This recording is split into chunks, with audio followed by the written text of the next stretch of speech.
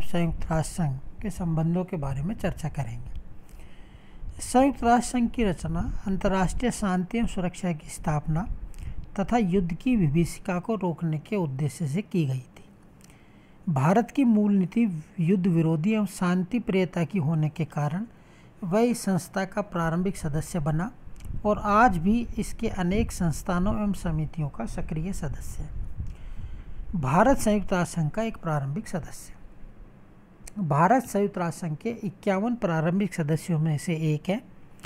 सन 1945 में यद्यपि भारत स्वतंत्र नहीं था, परंतु द्वितीय विश्व युद्ध के समय एक मित्र राष्ट्र होने के कारण उसने सेंस फ्रांसिस्को सम्मेलन में भाग लिया। इस तथ्य के बावजूद कि सेंस फ्रांसिस्को सम्मेलन ने भारत के प्रस्ताव को अधिक नहीं माना, फिर भी भारत ने घोषणा पत्र के अंतिम रूप का पूरी तरह समर्थन किया। ऐसा करने के कुछ महत्वपूर्ण कारण थे। पहला घोषणा पत्र का लक्ष्य विश्व शांति को आगने बढ़ाना था तथा एक दूसरे युद्ध की व्यापक विभीषिका को रोकने के अतिरिक्त शांति के लिए लंबे समय में भोजन, वस्त्र, मकान और शिक्षा की बुनियादी आवश्यकताओं को प्राप्त करना था। दूसरा, जैसा कि जवाहरलाल नेहरू ने संकेत किया कि भारत ने संयुक्त राष्ट्र संघ के साथ अपने को इसलिए संबंध किया क्योंकि यह राष्ट्र संघ की अपेक्षा अधिक व्यापक व अच्छा था। संयुक्त राष्ट्र घोषणा पत्र राष्ट्र संघ के प्रतिज्ञा पत्र का संवैधानिक सुधरा हुआ रूप ही नहीं था।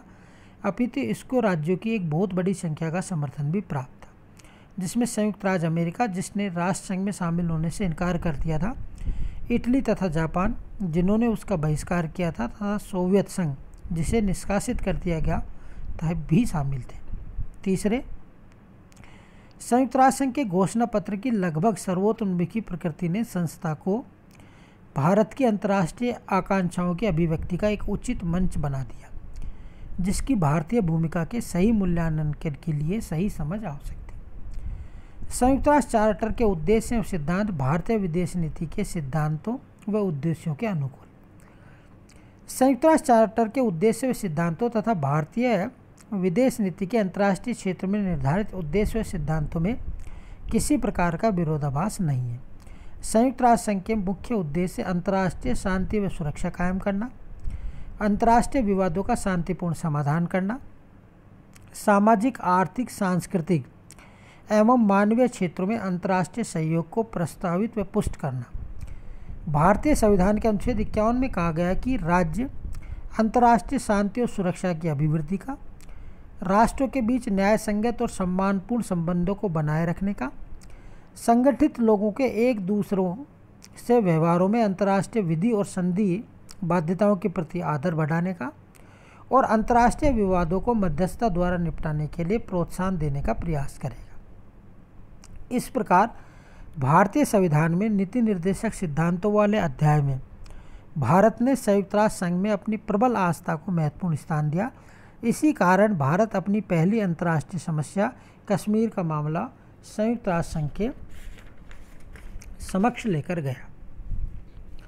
संयुक्त राष्ट्र संघ के विभिन्न अंगों में भारत की भूमिका। संयुक्त राष्ट्र संघ के विभिन्न अंगों में अपना स्थान बनाकर भारत ने सक्रिय भूमिका निभाई। भारत उन्नीस सौ पचास इक्यावन, पैंसठ, छियासठ, बहत्तर, तिहत्तर, सतहत्तर, अठहत्तर, चौरासी, पिचासी, इक्यानवे, बानवे, दो हज़ार ग्यारह, बारह के वर्षों में सुरक्षा परिषद का सदस्य निर्वाचित हो चुका है। संयुक्त राष्ट्र संघ के दूसरे महत्वपूर्ण आर्थिक सामाजिक परिषद में पंद्रह से सत्रह के लिए भारत को दसवीं बार सदस्य चुना गया। भारत संयुक्त राष्ट्र, अंतर्राष्ट्रीय व्यापार आयोग, संयुक्त राष्ट्र पर्यावरण कार्यक्रम, संयुक्त राष्ट्र नारकोटिक औषधीय द्रव्य के लिए पुनर्निर्वाचित हुआ। न्यास परिषद में भारत की महत्वपूर्ण भूमिका रही। उसने उपनिवेशवाद विरोधी रुख अपनाकर पराधीन देशों की स्वाधीनता पर बल दिया। सन उन्नीस सौ अट्ठावन में पश्चिमी अफ्रीका में जो निरीक्षक मंडल भेजा गया, भारत उसका एक महत्वपूर्ण सदस्य था। भारत यूनेस्को के संस्थापक सदस्यों में से एक है। इसके सभी सम्मेलनों में भारत ने सम्मिलित होकर महत्वपूर्ण भूमिका निभाई है।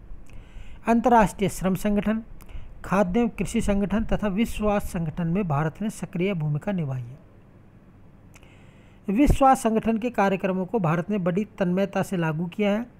भारत में स्वास्थ्य गाँव की सफ़ाई, परिवार व बाल कल्याण कार्यक्रम इसी की प्रेरणा से चल रहे हैं। संयुक्त राष्ट्र संघ बाल आपात कोष का प्रादेशिक कार्यालय भी भारत में ही है। मार्च उन्नीस सौ अड़सठ में नई दिल्ली में द्वितीय अंकटाड सम्मेलन आयोजित किया गया। अंतर्राष्ट्रीय पुनर्निर्माण और विकास बैंक का भारत संस्थापक सदस्य है। स्थापना के समय इसकी पूंजी में भारत का पांचवा सबसे बड़ा स्थान था। भारत को संयुक्त राष्ट्र महासभा के उनचासवें संस्थापन के समय इसकी पूंजी में भारत का पांचवा सबसे बड़ा योगदान था।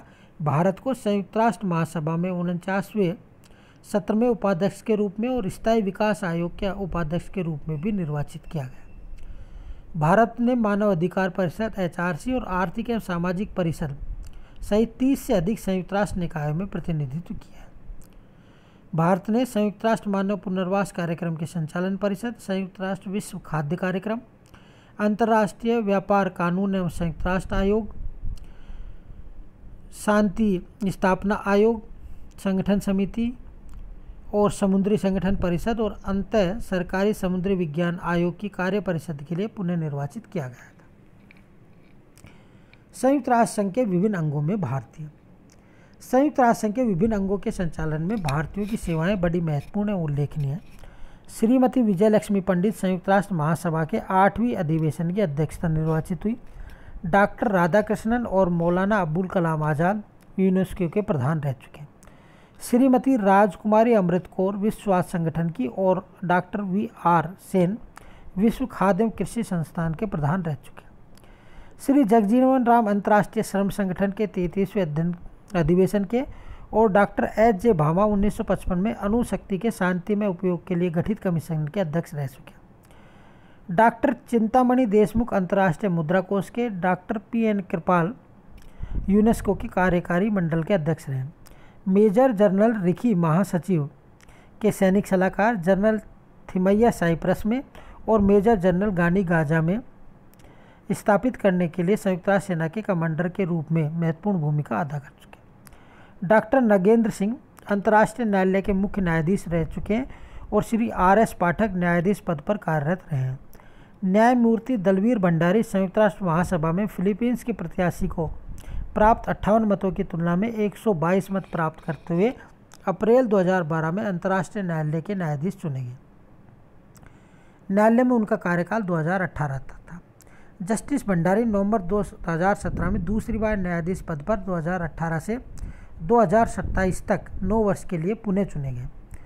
उन्हें सुरक्षा परिषद के सभी पंद्रह सदस्यों और महासभा के एक सौ तिरानवे में से एक सौ तिरासी सदस्यों का समर्थन मिला। श्री आर श्रीनिवासन को मई 1990 में विश्व स्वास्थ्य संगठन के कार्यकारी बोर्ड का अध्यक्ष चुना गया।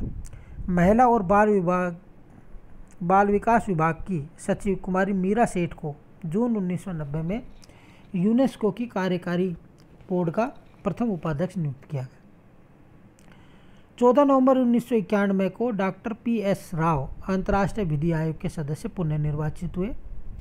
उन्हें अंतर्राष्ट्रीय समुद्र कानून न्यायाधिकरण के न्यायाधीश के रूप में 1999 से 2008 की अवधि के लिए फिर से चुना गया।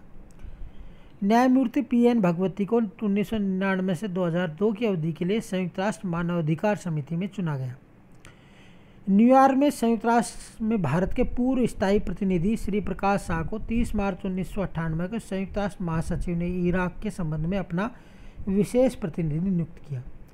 2002 से 4 तक की अवधि के लिए श्री वी के शुंगलू अंतर्राष्ट्रीय समुद्री सीमा संगठन के बाह्य लेखा परीक्षक चुने गए। 3 मार्च 2006 को महासचिव कोफी अन्नान ने भारत के विजय नाम बिहार को अपना विशेष परामर्शदाता नियुक्त कर अंडर सेक्रेटरी जनरल का दर्जा प्राप्त शशि थरूर ने अवर सचिव जय सूचना के पद पर कार्य किया। नए महासचिव बान की मून ने विजय नाम बिहार को चीफ ऑफ़ स्टाफ नियुक्त किया। 9 मई 2006 को भारत संयुक्त राष्ट्र संघ की नई मानवाधिकार परिषद का सदस्य चुना गया। उसने उन्नीस सौ, उसने एक सौ इक्यानवे में से एक सौ इकहत्तर देशों ने समर्थन दिया। इस परिषद में कुल सैंतालीस सदस्य। दिसंबर 2011 में भारतीय राजदूत दिलीप लाहिडी को संयुक्त राष्ट्र की नस्लीय भेदभाव उन्मूलन समिति के अध्यक्ष पद पर फिर से चुन लिया गया। उनका तीन वर्ष का कार्यकाल 20 जनवरी 2012 से शुरू हुआ। लाहिड़ी इससे पहले वर्ष 2008 में समिति के अध्यक्ष पद के लिए निर्वाचित हुए थे। भारत जो कि यूनेस्को की कार्यकारी बोर्ड में 1950 में इसके गठन के सदस्य भी रहा है, को पुनः पाँच वर्ष की अवधि के लिए पेरिस में तेरह नवंबर 2013 को सैंतीसवें यूनेस्को महासम्मेलन में चुन लिया गया। मॉन्ट्रियल में 24 सितंबर से 4 अक्टूबर 2013 तक अड़तीसवें असेंबली बैठक के दौरान भारत को council of international civil aviation organisation में पाँच वर्ष के लिए चुन लिया गया। Commission on narcotics drugs C N D में 2014 से 17 की अवधि के लिए H I V AIDS U N AIDS संबंधी संयुक्त यूएन कार्यक्रम के तहत समन्वय बोर्ड में अप्रैल में commission on the state of women और United Nation entity for gender equality and the empowerment of women में 2014 से 16 हेतु नवंबर 2013 में चुना गया। भारत को लंदन में 25 नवंबर से 4 दिसंबर 2013 तक आयोजित इंटरनेशनल मैरीटाइम ऑर्गेनाइजेशन की कार्यकारी परिषद हेतु पुणे चुन लिया गया। भारत के नियंत्रण महालेखा परीक्षक श्री शशिकांत शर्मा को जुलाई 2014 से छः वर्ष की अवधि के लिए संयुक्त राष्ट्र लेखा परीक्षक बोर्ड में चुन लिया गया। नवंबर 2013 में आयोजित चुनाव में एक मतों से जीत प्राप्त हुई। भारत की उम्मीदवार डॉक्टर पूनम खेत्रपाल सिंह को 12 सितंबर 2013 को आयोजित चुनाव में डब्ल्यूएचओ दक्षिण पूर्वी एशिया क्षेत्र के लिए क्षेत्रीय निदेशक के रूप में मनोनीत किया गया। भारत को वर्ष 2015-17 के कार्यकाल के लिए मानवाधिकार आयोग के लिए पुणे चुन लिया गया। अक्टूबर 2014 को संपन्न चुनाव में महासभा में एशिया प्रशांत समूह में भारत को सबसे अधिक वोट मिले। भारत को 2015-17 की अवधि के लिए रासायनिक हथियार निषेध संगठन की कार्यकारी परिषद का सदस्य चुन लिया गया। इसके अतिरिक्त भी हज़ारों भारतीय वैज्ञानिक, डॉक्टर, तकनीकी विशेषज्ञ, संयुक्त राष्ट्र संघ की विभिन्न सेवाओं में रहकर इसको सफल बनाने में महत्वपूर्ण मिशनों में कार्यरत है। Thank you.